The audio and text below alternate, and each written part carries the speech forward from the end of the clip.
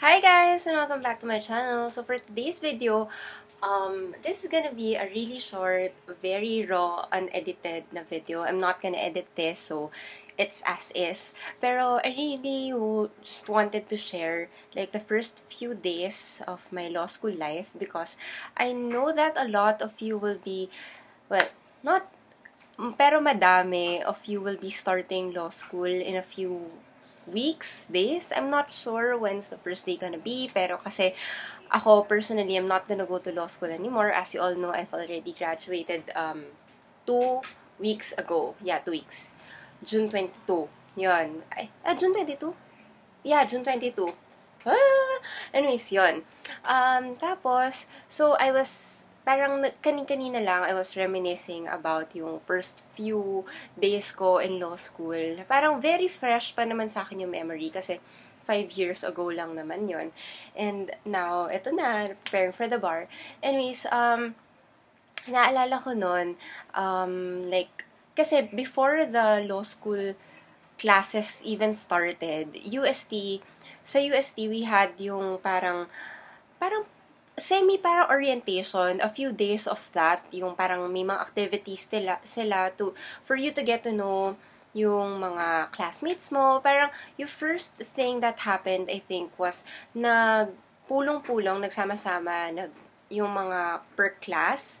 And then, after that, yun, yung parang getting to know each other, yeah, so before the class even started, may idea ka na who your classmates are gonna be.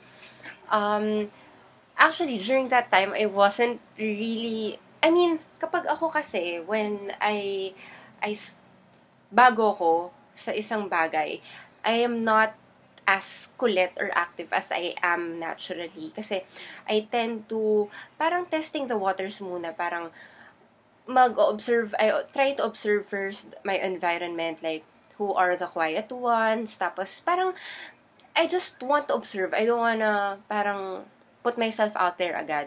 Gusto ko malaman yung mga tao around me. So, yun. Parang tahimik lang ako nun. Actually, when we, when my friends and I talk about it, parang they describe me as parang ma- masungit daw, ganyan. Tapos parang may sarili akong mundo. Which, to be honest, yeah.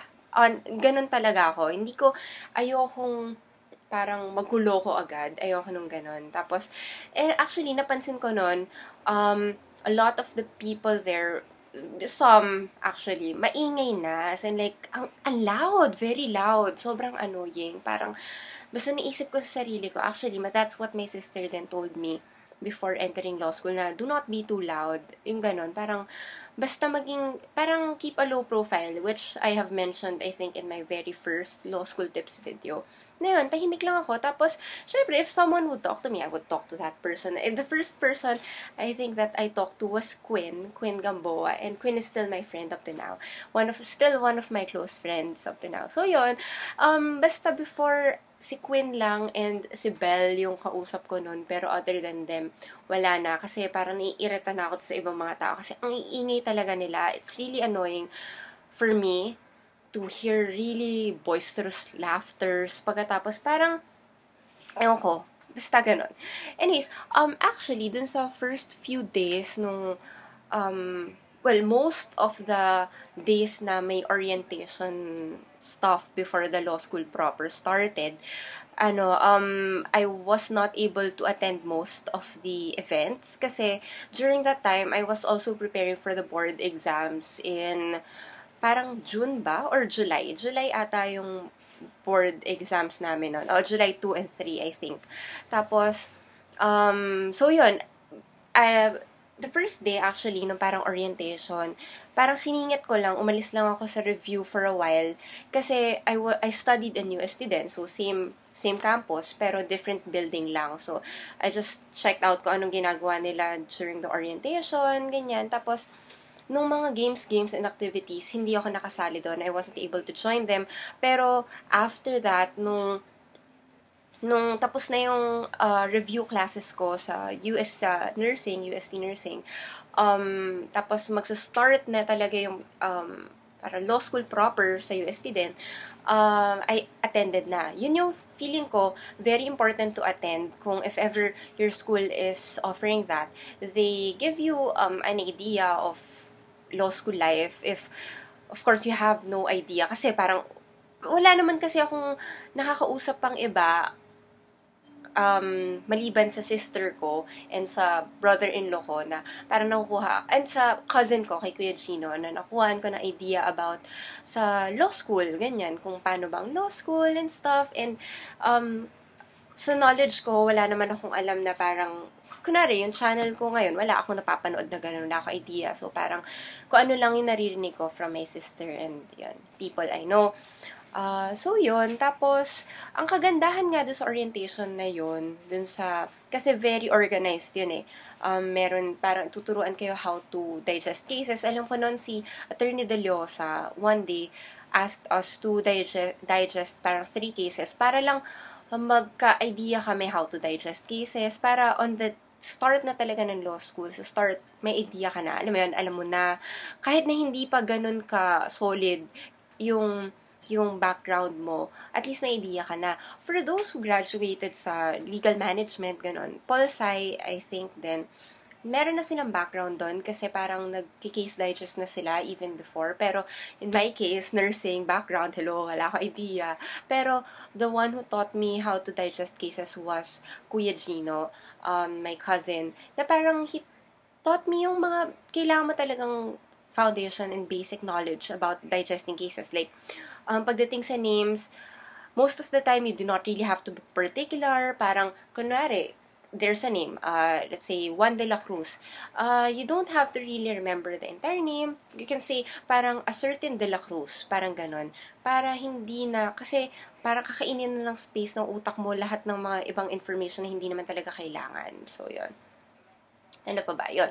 First few days, yun lang, naalala ko lang. Tapos parang, for me din, yung first two weeks ko in law school, ay yung, um, before even starting law school, I was quite, parang nakakaba din for me kasi um, I was preparing for the board exams in July. Tapos so parang natatakot ako, what if may mag-suffer, like yung board exams or yung law school. And thank God, feeling ko, wala namang nag-suffer kasi kapag nga mas nasistress ka, pag parang mas kailangan mong mag-focus sa kung anong kailangan mong gawin, mas nagagawa mo ng maayos. Kaya feel ko din na yung mga working students, actually, ang galing nila, magagaling mga working students. Ang kagandahan kasi is na ma-manage nila yung oras nila ng maayos talaga. Parang alam nila sa sarili nila na wala na silang time.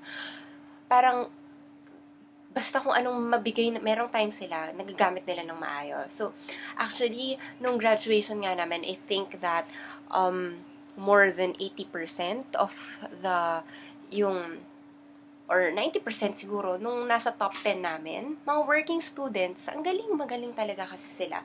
So, don't be disheartened na kailangan na working ka, na mas, ano, um, na may hirapan ka, use it to your advantage kasi naniniwala ako na, yun nga, sila pa lang eh. Example na, na 80 to 90% ng mga top 10 namin, uh, working students. So, ano, magaling. Use, use it to your advantage lang talaga. Yun yung importante.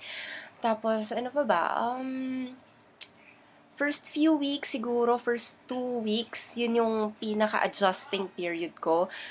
Um, para sa mga graduate ng legal management, I think, and yung mga, may idea na sila sa law courses, parang less um, adjustments yung ginagawa nila. Pero kung kunwari, like me, na science course, yung pre-law mo, don't be disheartened kasi kayang-kaya mo yan. Two weeks, two weeks lang yon Basta um, focus and do your best. Sa, kaya mo yan. Alam mo yan? Kaya mo yan. And um, good luck sa lahat na magsa-start ng law school. Um, And, um, masingit ko lang din if you are watching sa dulo na din ng video. Um, recently, I had this idea na maggumawa ng webinar. Actually, initial na naisip ko is a seminar. Like, I would rent a place dito sa Manila. Pagkatapos, dun ko i-conduct yung parang seminar. It's not really a seminar, pero parang talk lang. Tapos, parang, basta, ganun. Pero, uh, Jed suggested na I do a webinar na lang daw. And I think it's a really good idea kasi hindi ko na kailangan na uh, mag-rent ng place din. Tapos, mas accessible sa lahat ng tao. Like, kahit saan man sila nandoon, pwede nilang mapanood na sa Luzon, Visayas o Mindanao ka man. O kahit saan mula ano um apari hanggang hulo pwede mo mapanood basta may internet ka so um let me know kung um if ever mangyari ngayon, do you think you would be interested or do you think may a-attend ba? And kung gagawin ko man siya, ano yung specific topic na gusto nyong i-discuss ko? Kasi I'm mo, leaning towards yung sa mga papasok na sa law school this coming school year and yun, yun yung talaga yung nasa idea ko na parang gabay then or something na focused doon, gets? And it's gonna be like a Q&A then, like on the day, yung araw ng webinar, I get to answer questions then. Um, the, the thing about it is that I'm gonna be, um, tawag dito, um, I would be parang asking a very minimal, minimal amount. Very minimal. Parang amount din siya na kunwari isipin mo kung magko-commute ka lang sa meeting place na yon ganun lang din yung gasin mo definitely, syempre iniisip ko din naman kung sino a-attend, yung majority na attend ng mga possibly col still college students na wala pang work, ganyan. So, allowance, 'di ba So, mga, siguro 100 pesos. Do you think that's good enough? Or parang, or okay ba yung idea na yon Ewan ko, wala akong idea, so I really wanted to ask you guys. So, yeah. Um, I'm gonna end today's video. If you have any suggestions dun sa nasabi kong webinar and stuff, please leave your comments in the comment section below. And I'll see you again soon, only here on my channel. Bye!